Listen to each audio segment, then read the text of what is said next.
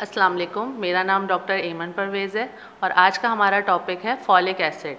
हम folic acid होता क्या है, इस पर बात करेंगे, इसके यूजेस पे बात करेंगे, इसके अलावा हम इसके साइड इफ़ेक्ट्स पे बात करेंगे और इसका सबसे इंपॉर्टेंट रोल जो मेल्स और फीमेल में होता है, उसके बारे में हम बात करेंगे और प्रेगनेंसी में इसका क्या यूज़ होता है, उसके बारे में भी हम बात करेंगे। अब हम बात करेंगे फॉलिक एसिड होता क्या है। फॉलिक एसिड बेसिकली फौलाद होता है या इसको हम वाइटामिन बी नाइन भी कहते हैं। ये एक सिंथेटिक फॉर्म ऑफ़ फॉलेट होता है, जो कि नॉर्मली हमें खाने में नहीं मिलता। तो हमें इसको या तो सप्लीमेंट से लेना पड़ता है या हमें इसको जो है डिफरेंट फोर्टिफाइड फ़ूड से लेना पड़ता है।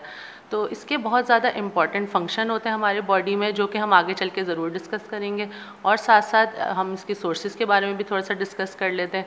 बेसिकली ये जो है, आपको ग्रीन लीफी वेजिटेबल्स में मिलता है। उसके अलावा आपको बीफ फ्लेवर में मिलता है। यानी कलेजी के अंदर मौजूद होता है ये बीफ की। उसके साथ साथ ये आपको खरबूजे में, उसके साथ साथ ये पीनट्स के अंदर मौजूद होता है। सिट्रस फ्रूट्स के अंदर मौजूद होता है। लोबिया के अंदर मौजूद होता है। और भी इसकी काफ़ी सोर्सेज हैं। अब हम बात करेंगे इसके यूजेस के ऊपर। फॉलिक एसिड का जो सबसे अहम रोल होता है, वो ये होता है कि ये रेड ब्लड सेल की फॉर्मेशन में बहुत ज़्यादा हेल्प करता है। तो ये आपके सेल्स को मैच्योर करता है और अगर इसकी कमी आपकी बॉडी में हो जाए तो एक ख़ास किस्म की खून की कमी हो जाती है, जिसको हम मैगेलोब्लास्टिक एनीमिया कहते हैं। उसके अलावा जो इसका एक फ़ंक्शन होता है, ये आपके डीएनए की फॉर्मेशन के अंदर बहुत ज़्यादा हेल्प करता है और आपके जेनेटिक मटेरियल को बनाने में भी बहुत ज़्यादा हेल्प करता है। उसके अलावा इसका एक और यूज़ है जो कि ये विटामिन बी सिक्स और बी ट्वेल्व के साथ मिलके आपके कार्डियोवैस्कुलर सिस्टम को, यानी कि आपके हार्ट को और आपके स्ट्रोक के चांसेस को कम कर देता है। उसके अलावा जो है इसके अंदर आपकी एक स्किन की डिज़ीज़ होती है वर्टलिगो के नाम से। उसमें भी ये बहुत ज़्यादा हेल्पफुल होता है। तो जिसमें आपके स्किन पे वाइट कलर के पैचेस पड़ जाते हैं, उसके लिए ये काफ़ी हेल्पफुल होता है। अक्सर डर्माटोलॉजिस्ट इसको देते हैं यूज़ करने के लिए। अब हम बात करेंगे फॉलिक एसिड के मर्दों और ख़वान में क्या यूजेस होते हैं।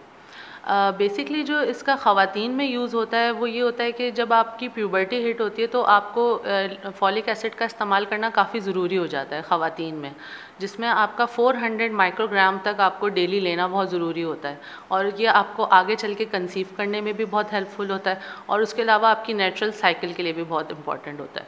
उसके अलावा मर्दों के लिए जो इसका यूज़ होता है, वो ये होता है कि उसमें आपकी फर्टिलिटी के ऊपर कुछ रिसर्चेज हुई हैं तो उससे ये मालूम हुआ है कि ये मर्दों में कुछ हद तक फर्टिलिटी इंक्रीज़ करता है और मर्दों की हार्ट हेल्थ के लिए भी ये काफ़ी हेल्पफुल होता है। अब हम बात करेंगे फॉलिक एसिड के ओल्ड एज पीपल में क्या यूज़ होते हैं।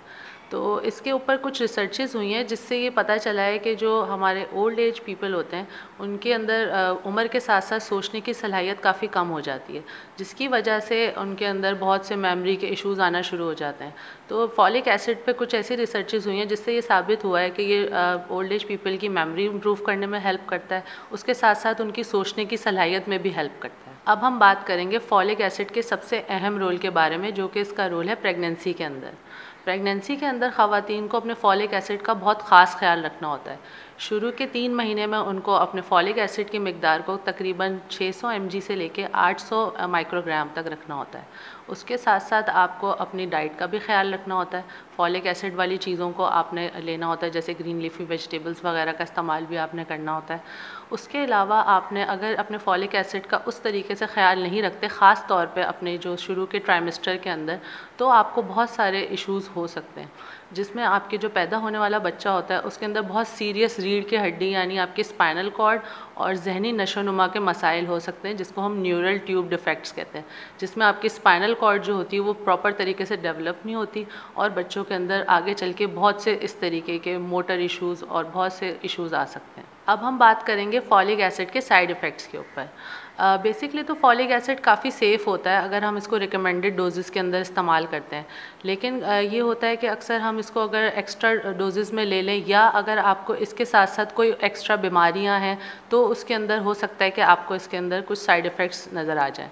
जिसमें सबसे जो साइड uh, इफ़ेक्ट देखने में आता है वो ये है कि अगर आपको फॉलिक एसिड के किसी इन्ग्रीडियंट से एलर्जी है तो आपको एलर्जिक रिएक्शंस हो सकते हैं।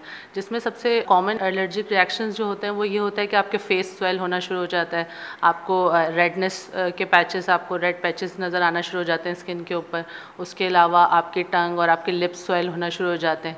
उसके अलावा इसके कुछ कॉमन साइड इफ़ेक्ट्स होते हैं, जैसे कि नोज़िया हो गया, यानी मतली होना या उल्टी जैसी फीलिंग वॉमिटिंग हो गया। उसके साथ साथ इसके अंदर आपको और डिफरेंट जो साइड इफ़ेक्ट्स होते हैं, उसमें जैसे स्लीप डिस्टर्बेंसेस हो सकती हैं, या मुँह के अंदर कड़वा टेस्ट जो हो सकता है, उसके साथ साथ आपको गैस का इशू हो सकता है ब्लोटिंग हो सकती है तो ये इसके कुछ कॉमन साइड इफ़ेक्ट्स हैं। अब हम बात करेंगे फॉलिक एसिड की कुछ प्रिकॉशंस के बारे में। यानी अगर आप फॉलिक एसिड लेना स्टार्ट कर रहे हैं तो आपको कुछ चीज़ों का ख्याल रखना होगा। जैसे कि अगर आपके घर में कोई अफराद एपिलेप्सी के पेशेंट है, या आप खुद एपिलेप्सी के पेशेंट है तो आप फॉलिक एसिड उसको इस्तेमाल नहीं कर सकते। या अगर इस्तेमाल करना है तो आप डॉक्टर के मशवरे से इस्तेमाल करेंगे। उसके अलावा आप फॉलिक एसिड जो है, वो पर्नीशियस एनीमिया होता है, उसके अंदर आप यूज़ नहीं कर सकते। हेमोलाइटिक एनीमिया होता है, उसके अंदर आप यूज़ नहीं कर सकते। और अगर यूज़ करना है, बहुत नेसेसरी है तो डॉक्टर की हिदायत के मुताबिक आपने इसको इस्तेमाल करना है। उसके अलावा इसके अंदर आप, अगर अल्कोहल कंजम्पशन आपका है तो आप इसको यूज़ नहीं कर सकते। और अगर कोई सीरियस आपको इन्फेक्शन हैं तो उसमें भी आप डॉक्टर की हिदायत के मुताबिक ही इसको इस्तेमाल करेंगे।